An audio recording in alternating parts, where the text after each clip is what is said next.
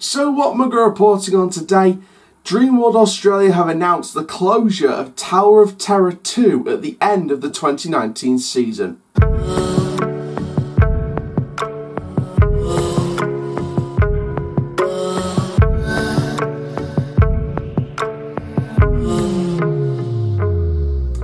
Hello there guys, my name is Coaster Chall Doncaster Born Bob Built for Theme Park News and welcome to a Theme Park News update from Dreamworld Australia.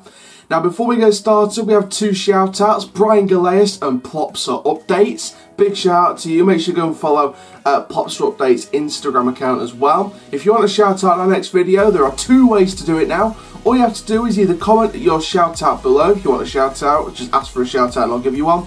Or uh, you can comment your thoughts down below and I will give you a shout out in the next video. So any comments, if you want you, basically you don't get your comments shouted out, but if you want to be shouted out for commenting your thoughts on the news down below, then I'll collect all the shout outs over the last couple of days and I'll bring them to you on the next episode of Newsroom. Before we get started as well, make sure you go and check out our videos over the last few days. We uploaded a lot of videos yesterday. Uh, we had individual walkthroughs of the scare mazes, uh, York Maze Hallow Tween 2019, uh, The Singularity, Corny's Cornival, and Barnageddon 3D. Also, we've had other updates uh, that's been uploaded over the last couple of weeks uh, from the likes of Europa Park, Alton Towers. We've had a construction update from Flamingoland's new coaster, Busch Gardens Williamsburg's new coaster, Pantheon. We've had loads of updates. We've got plenty more updates to come uh, over the next couple of days. We've got news updates that's been recorded from Furuvik in Sweden, Universal's Epic Universe. We also have updates uh, from Ravens, Ra Ravensburger Spielland, which is a small park in Germany on their new investment for next year. So plenty of interesting news updates to go around over the next couple of days, including today. So this update is from Dreamworld Australia. Now we've reported on this park before, uh, and if you want to check out an earlier update we did on this park, make sure you go and check out the Australia Parks and Attractions playlist. Um, we had a video on their new clone of Bluefire with a, a Star Trek Operation Enterprise uh, half spike at the back, uh, as well as the last train being a spinning coaster. Uh, with, a, with, that spinning train as well as the main Bluefire kind of trains. Uh, so make sure you go check out that video on that coaster that we did. We also did another update in an Australian park called SeaWorld on their new coaster Leviathan, uh, which is their new um, wooden coaster. We did an update on that park as well, so make sure you go check out those two videos in the Australia Parks playlist. This is the third news update on the Australia Parks and Attractions playlist again from Dreamworld Australia, and it's the closure of one of their most iconic coasters that opened at the park in 1997. Remember, mark the date on your calendars, 3rd of November 2019. That's going to be the last day you'll ever get to ride Tower of Terror 2. So basically, if you don't know what this coaster is, it's an Intamin reverse freefall launch coaster. In 2010, they flipped the car so it faced backwards, and you got launched backwards uh, up the big uh, tower and then back down again. So they did that the year in the 2010 season, and then of course the year after in 2011 they did it. They did it to its clone sister ride, Superman Escape from Krypton, over at Six Flags Magic Mountain as part of their three coaster year to celebrate the 40th anniversary in 2021. Uh, 2011, sorry. 50th anniversary 2021, so fingers crossed we see a coaster at Magic Mountain in that year. So, if you want to know some stats on the Tower of Terror 2 roller coaster, then here is some stats.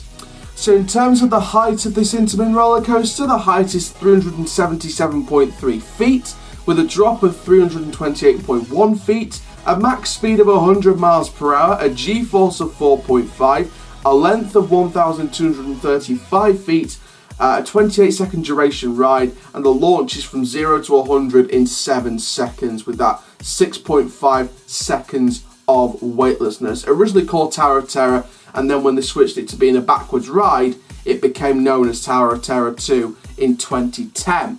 Like I said, 3rd November 2019 is the closing date, and if you want to know what's happening with this, basically, uh, they're closing the ride uh, due to the future investments for the park. So I'm guessing with all these new investments that's going to be coming in the next couple of years, uh, with the new slide complexes, this Blue Fire type Mack launch coaster, uh, with the half pipe at the back, uh, all these big investments that's being planned for this park, I'm guessing they're going to cut the loss on the bill here by closing Tower of Terror 2.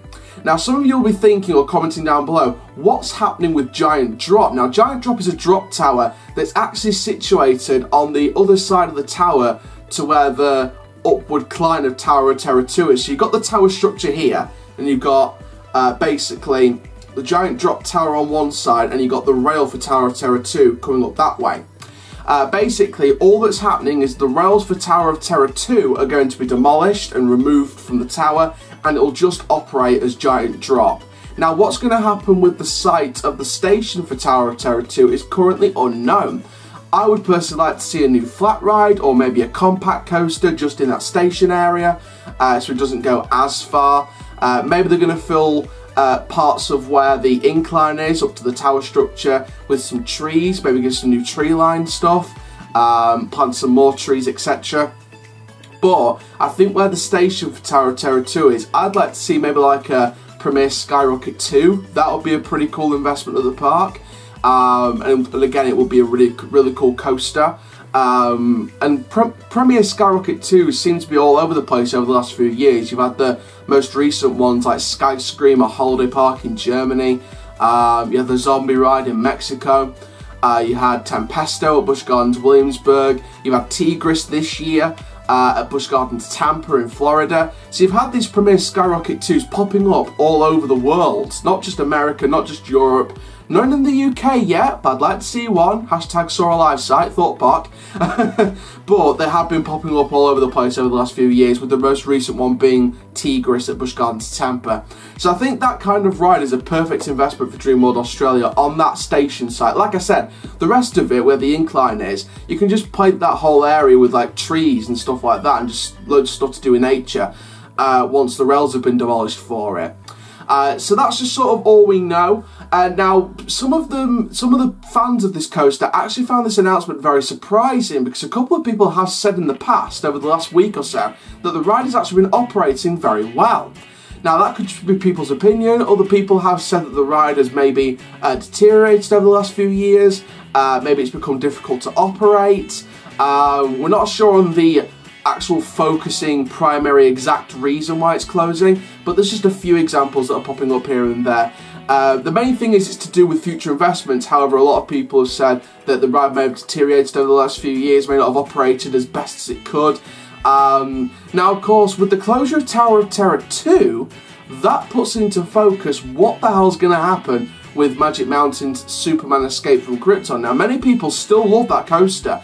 But how much longer is it going to be before that coaster bites the dust and the reverse freefall shuttle coasters of that model maybe become not really extinct but very, very rare? Uh, so it should be interesting to follow what could happen with Superman Escape from Krypton at Magic Mountain. But in this case, rest in peace Tower of Terror 2. You will be sorely missed by the fans of the park and the fans around the world that travelled to this park to ride you since 1997. The year before Oblivion opened, this ride opened. So you know, it's, it's a very old ride uh, compared to what we're used to nowadays, but uh, you know, things have its time, things come and go, parks have to develop, parks have to move forward, and I'm sure the park's going to move forward in a big, big way uh, with its future investments, but unfortunately, this ride will not live to see those future investments. So please share your thoughts and share your memories of Tower of Terror 2 in the comments down below. Of course, I'll give you a shout out in one of tomorrow's videos. Um, uh, with your comment as well. So if you comment down below, I'll give you a shout out in one of tomorrow's videos. But for now, guys, thank you very, very much for watching this theme park news update from Dreamworld Australia. There's plenty more news updates to come uh, from Ravensburger Spielland, um, uh, Knott's Berry Farm. We had a comment from someone called Ryan who said, please keep doing an update on this. That will be coming today, so make sure you stay tuned for that. But for now, guys, thank you very, very much. Make sure you like the video if you've loved it. Comment down below your memories. Rest in peace, Tower of Terror 2. Make sure you comment down below your thoughts on this coaster. What could replace the station area? Uh, and again, what are your memories of this ride? What was, you know, please share your memories down below. What was your first ride on this coaster? Um, you know, when did you first ride this coaster? What's your best memory of this coaster? Share all of it down below. Please subscribe to the channel if you've loved this. If you've loved all the theme park news updates we've covered in 2019 so far, and also make sure you click notification bell as well so you never miss any more thrilling content. And for now, guys, my name is Coaster Chall YouTube channel. Keep living the coast alive, and I'll see you guys in the next update from Knott's Berry Farm and more news updates over the weekend very, very soon. Take care. Have an awesome day, my friends.